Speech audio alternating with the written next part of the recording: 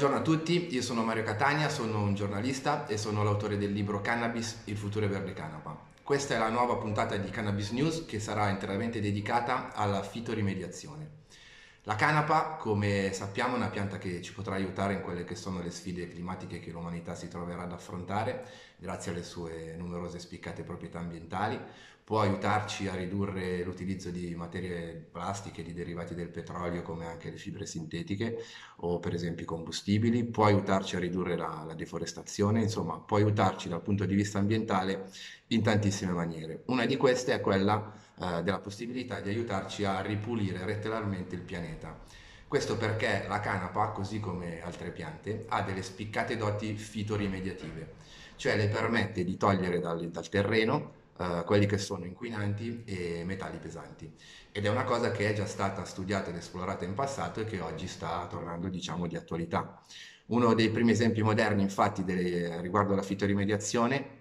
è successo negli anni 90 in America, eh, quando la DuPont, che è un'azienda che è più volte stata associata al proibizionismo della canapa, visto che negli anni del proibizionismo creò il nylon, che è una fibra sintetica appunto che deriva dal petrolio, eh, un chimico dell'azienda negli anni 90 in America sperimentò la canapa e l'ambrosia per uh, pulire i terreni che erano intorno al fiume Delaware, che era quello dove l'azienda scaricava oltre 750 sostanze chimiche.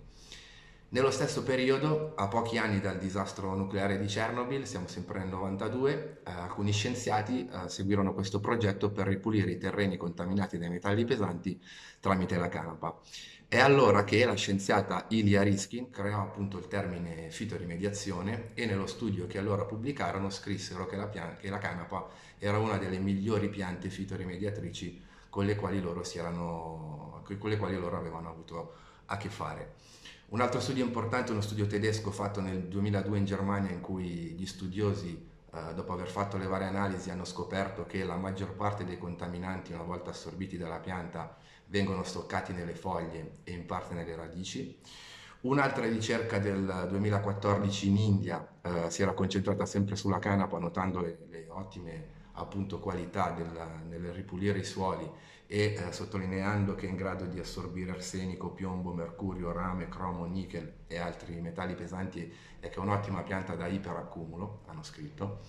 Ma noi abbiamo anche degli esempi italiani. Uno dei primi esempi recenti è stato quello che eh, è stato portato avanti presso la masseria Fornaro. È una masseria che sorge eh, vicino all'ex Liva e anni fa a causa degli alti livelli di diossina tutte le pecore che facevano parte di questa masseria eh, furono abbattute. Eh, da allora appunto il terreno fu dichiarato non coltivabile per almeno 20 anni e dalla tragedia che si prospettava per questa masseria una speranza arrivata dalla canapa perché sono state ripetute negli anni alcune semine di canapa facendosi seguire da Canapuglia e dall'ABAP, che è l'associazione dei biologi ambientalisti pugliesi, che appunto seguirono l'agricoltore in queste semine poi partecipate da tutto il territorio uh, della canapa per, per capire quanto potesse effettivamente ripulire il terreno. Un altro progetto simile è stato creato in Sardegna nel 2017 ed era un progetto triennale che era stato finanziato con centinaia di migliaia di euro uh, dalla, dalla, regione Sardegna e anche qui il progetto era diviso in due. Una parte puntava alla coltivazione di canapa per creare lavoro, quindi come risorsa agricola ed economica, e l'altra a studiarla nella fitorimediazione uh, per i terreni. Ma la novità è che un altro progetto partirà a breve, sempre in Puglia, eh, perché l'ABAP, che è l'associazione di cui vi, parlavo prima, ha vinto questo bando regionale per la quale sono stati messi a disposizione eh, 20.000 euro. E quindi eh, la prossima primavera vicino Bari eh, semineranno questo ettaro di canapa con diverse varietà e diverse modalità, nel senso che questo ettaro sarà diviso e una parte sarà coltivata con i classici filari di canapa, un'altra invece con la coltivazione cosiddetta a macchia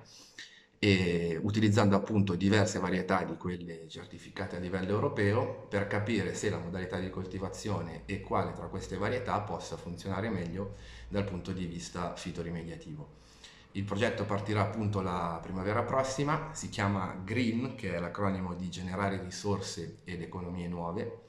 Eh, L'ABAP è appunto il capofila del progetto e a questo progetto farà poi seguito una pubblicazione scientifica che mm, racconterà appunto come la canapa si è comportata nel, nel ripulire questi terreni. La puntata di oggi si chiude qui, eh, vi invito naturalmente a seguire il nostro canale YouTube, a iscrivervi per poter rimanere sempre aggiornati anche per tutte le altre rubriche video e naturalmente a leggere Dolce Vita sul nostro sito dolcevitaonline.it o naturalmente la, la rivista cartacea che potete trovare nei grow shop italiani, nelle associazioni.